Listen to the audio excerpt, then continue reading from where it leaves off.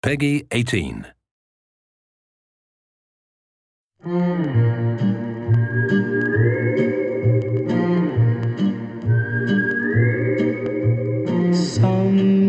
Even in a utopia, someone needs to clean up the mess.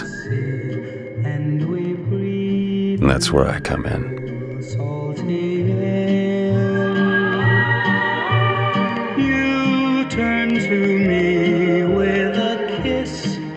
In your eyes, and my heart feels a thrill beyond compare. Your lips The girl promised me a way out, and I was desperate enough to believe her. Well, you got a name, miss? Elizabeth.